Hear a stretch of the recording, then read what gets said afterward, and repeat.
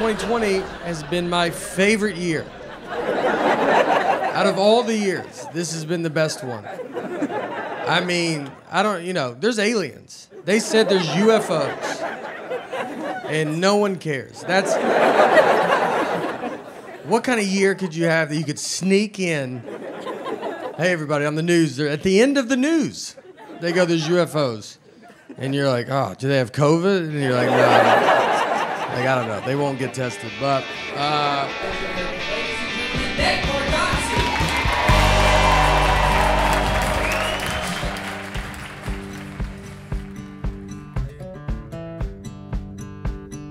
I grew up here in uh, Nashville, Tennessee, in Old Hickory. My dad is a uh, magician. He was a clown. I talk a lot about in my act. He was a clown at the very beginning.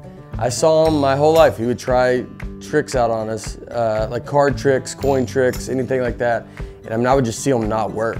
And I remember there was there was definitely times where I would be like, all right, I don't, you know, he's like, you gonna do it again? I'm like, nah, we're good.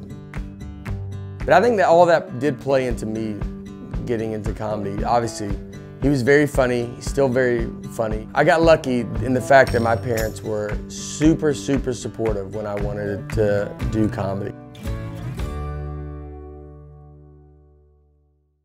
My senior year in high school, I wrote on a piece of paper, where are you gonna be in 10 years? And I said that I wanted to be performing at Zanies, which is the comedy club here in Nashville.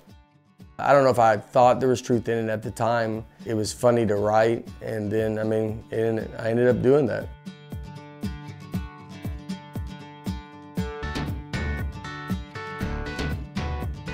See, I used to be just, just white cards, regular note cards. I mean, this is October 5th, 2004. I had a joke about deer hunting and buckets in Georgia. it's like trying to, in case you were like, is this a guy from the South? You're like, oh yeah, I'll, I'll show you.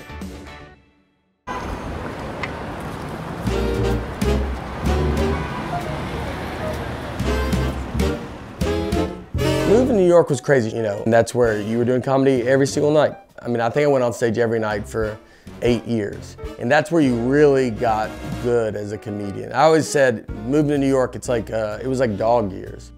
And I had a job at FedEx. My day uh, for a long time when I was doing that, I'd be at the comedy club at 7 p.m., stay till 3 a.m., go home, go to FedEx at 5 a.m., work till 10 a.m., and then just sleep during the day. And then that was kind of your routine. It was the greatest, I mean, one of the funnest times of my life. I would never want to go back to it, to be honest, but I would never trade it away for anything. I would say 2008 was my first big year. That was like the year I got, I did, uh, so Montreal Just for Laughs Comedy Festival is a big, uh, is a big deal. I got live at Gotham on Comedy Central, and I, I, did Conan.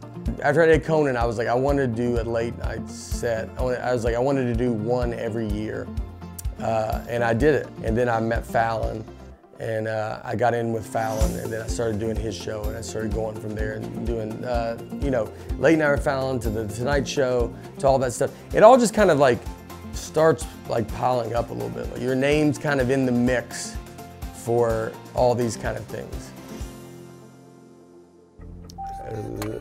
This, the music that's just playing. like, dude, I don't know. My daughter must have been driving last night. You know, I always get a lot of people that ask, uh, a lot of uh, dudes will ask about like my beard or something, because guys tend to, you know, we go to, you know, get our haircut very, just kind of easy, and don't really think about it. And uh, and so like, you know, ten years ago or something. I started doing it. Uh, I, I, started getting someone to do my beard. It looks better. It looks so, you know, and getting your hair done by like kind of the same person. So, like so, my first uh, hour special was with uh, Comedy Central called Full Time Magic. Not a lot of people saw it. It aired the same night of the Mayweather Pacquiao fight. So it was, uh, you know, I didn't even watch it. But it was, it, it was the first special I did really good. And then Netflix came to me and asked me to do, my first thing I did was the stand-ups, which was a 30 minute special. And at first I was like, I didn't want to do it because it's like, it's a big goal as a comic, you want to do an hour special. So I was going to go from an hour special back down to a half hour special. And I was, I was kind of hesitant because I was like, I don't know, I feel like I'm going backwards, you know, to go do a half hour. But This was like 2016 when we are kind of talking about it. And Netflix is really starting to be known as where stand-up comics are going to go. This opportunity would be too big to kind of pass up on. And so I agreed to it and I did the stand-ups and I was on season one. I was the first comic on season one. And that was the biggest pop I felt after, you know, almost of anything that I've done. As a comic, you want to be with Netflix. Everybody wants to be with Netflix. If anybody says they don't, it's usually because they're not, they can't be with Netflix, to be honest. And so you, you, you want, that relationship is huge. The next thing they, I did an hour special with them, which was the Tennessee Kid. That kind of got you into doing theaters, which is the goal of a comic is you do comedy clubs and you want to get to theaters. You know, if you get lucky, you get to do some arenas and stuff like that. Tennessee Kid was the one that kind of launched me into that world. Time is but a construct. That's true, yeah.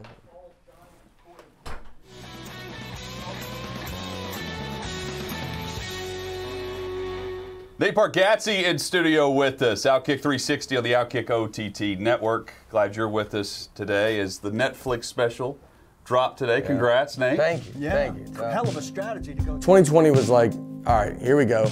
This year was going to be kind of the big come out year. We had uh, had a tour bus doing 100 theater dates. And so it was like, you know, everybody's date, March 12th. All this stuff was getting canceled. Arena tours were getting canceled. We were three hours to the show time. I had no outlet for me. Like there was nowhere to go. I golfed every day. Golf was huge uh, for me because I just kind of put all that focus into uh, golf and try to get better. At least to be doing something that was outside, you could do it. What I love about comedy and golf, how they relate. It's all, you're alone up there it's all on you. Uh, anything goes bad, it's your fault. It's no one else's fault. Just like in comedy, guys can ruin their careers because they're messes and they, you know, they can't handle the pressure or something, or they, you know, they self-sabotage or stuff. And you do that on the golf course, obviously as well. I can do it with putting all day long, just fall apart.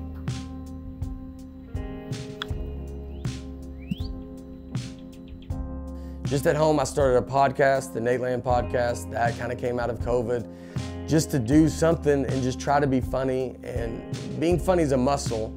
And so you want to like kind of keep it, you know, keep it going a little bit. And so I just wanted to do something fun and funny with my friends. And so you want to just be that kind of just easy listen for people that people can just laugh at. And then Netflix kind of came back and was like, hey, we think we can shoot this special and we can do it outside and we can do it in a safe way. What I eat is that's the main problem. I eat uh, like a child. I eat. I mean, it's not good. He, he goes, let's go through like what you had for breakfast, or your whole day of eating. He goes, let's go through yesterday. And in my head, I'm like, well, yesterday's not a good day, you know. let's pick another day. Uh, he goes, go through yesterday. I go, all right. I had donuts in the morning, and he goes, all right. Uh, was it like they were just out or something? I go, no, I drove. I drove to it. I drove to it. So leading up to it was, you know, just talking about what we were gonna do. The Greatest Average American, when we shot that, it was at Universal Studios. So it was pretty already a unique situation in the fact that you're doing it outside. Obviously, you can't hide that it's being done during COVID. The audience has masks on. So you're trying to find that balance of, you know, addressing the situation that we're in. I have some COVID jokes I did at the top, but then also to get into your regular act and then just be that. Uh, I just wanted to be the, I don't know, the break that everybody I think needs. You know, there's a big trust that I feel like you have with an audience when they are like, you know, I can trust that I can come to you and I know that it's just going to be funny. It's not going to be anything heavy, just kind of, it's all just jokes that are just, and stories about just me being dumb and talking about my family and my job should be that you can turn your brain off and you can laugh. And that stuff's very important. It's very important to laugh. It's very important to just get a break from the real world and the world that we all are having to go through. As a comedian, I'm lucky to get to do this. I'm not owed this job. Every day it can be taken away from you. No one can come up to your shows and you got to have the attitude of that. Now, even now, like you just think, even a Netflix special comes out, people are watching it. I mean, dude, doing this interview, you're just like, this is all based on nothing. I don't know. It always sticks with you. You always appreciate it, and you're always like, you just can't believe it. I never let my goals be too far ahead. I would love to get to a level where I can do arenas, to be that big of a comedian, you know, do Madison Square Garden. But the over goal at the end of it is stand up, you know, just to be the biggest stand up comic that I can be.